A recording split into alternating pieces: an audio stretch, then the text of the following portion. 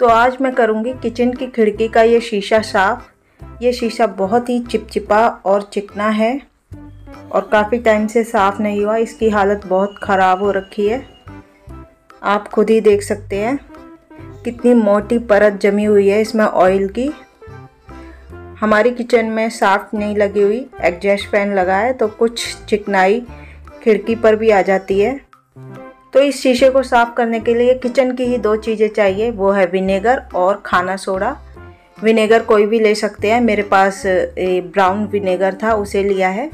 आपके पास वाइट हो वाइट भी ले सकते हैं और एक चम्मच भरकर सोडा।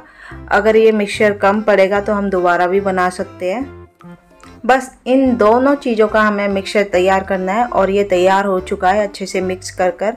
इसे हम डायरेक्टली शीशे पर लगा देंगे, बहुत अच्छे से। अगर कम पड़े मिक्सर तो दोबारा से हम बना सकते हैं। सिरका और सोडा हर किचन में मिल जाता है, इसलिए बाज़ार से कोई भी चीज़ हमने इस्तेमाल नहीं की। ना मैं यहाँ पर सर्फ या बिम कुछ भी इस्तेमाल नहीं करूँगी, सिर्फ़ सोडे और सिरके के मिक्सर से ही इस खिड़की को हम साफ़ कर देंगे। बस इसको अच्छे से शीशे पर दोनों तरफ़ से अंदर बाहर अच्छे से कोट कर देना है। किचन की खिड़की का जो कांच होता है इस पर बहुत चिकनाई जम जाती है, जिससे साबुन या सर्फ से साफ़ नहीं होती।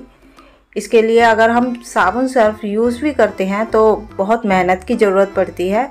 लेकिन अगर आप सोडा और सिरके का मिक्सर यूज़ करेंगे तो इसमें आपको ज़्यादा मेहनत की भी ज़रूरत नहीं पड़ेगी। बहुत आसानी से, बहुत जल्दी ही इसके धब्बे छूट जाएँगे। अब इस मिक्सर को हम लगाकर खिड़की पर छोड़ देंगे 10 से 15 मिनट के लिए उसके बाद हम सफ़ाई स्टार्ट करेंगे।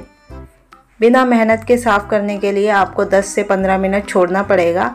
अगर सूख जाता है, खिड़की के शीशे सूख जाते हैं तो हम उस मिक्सर को दोबारा से लगा के उसे रगड़ना स्टार्ट कर देंगे। देखिए, मैंने 10 मिनट छोड़ के फिर से इस ग्लास को साफ़ करना स्टार्ट कर दिया है और इसकी चिपचिपाहट बहुत आसानी से निकल रही है। इसमें ज़्यादा मेहनत करने की ज़रूरत नहीं है। बहुत जल्दी ही साफ़ हो जाएगा ये शीशा। देखिए यहाँ पर मैं जहाँ जहाँ स्क्रब को रगड़ रही हूँ, वहाँ बहुत ही आसानी से शीशा साफ़ होता चला जा रहा है। चिकनाई बहुत अच्छे से छूटती चली जा रही है। पहले मैं एक खिड़की के एक पार्ट को साफ़ कर रही हूँ ताकि आपको फ़र्क नज़र आ जाए।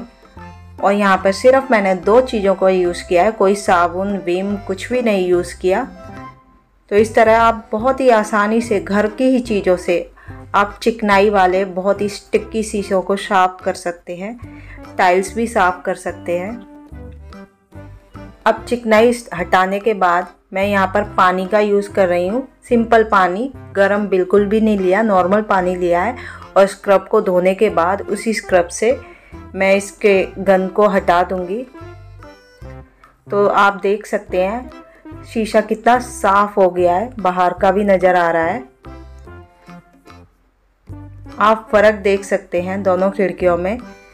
इसलिए मैंने एक पार्ट साफ़ किया, दूसरा नहीं किया। आप खुद करेंगे तभी आपको पता चलेगा कि कितनी आसानी से ये चिकने शीशे साफ़ हो जाते हैं बिना मेहनत के। थोड़ी सी तो मेहनत करनी पड़ती है, लेकिन ज़्यादा रगड़ने की ज़रूरत नहीं है।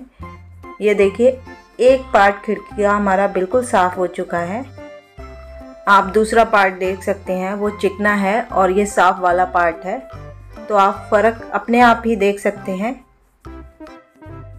तो अब मैं दूसरी खिड़की को भी इसी तरह से साफ़ कर कर फिर आपको दिखाती हूँ। तो ये देखिए, हमारी पूरी खिड़की साफ़ हो चुकी है। कितना साफ़ नज़र आ रहा है इससे। तो इस तरह से आप आसानी से अपनी खिड़की का, अपनी किचन की खिड़की का चिपचिपा, चिकना शीशा साफ़ कर सकते हैं और बहुत ही कम मेहनत में, बहुत ही आसानी से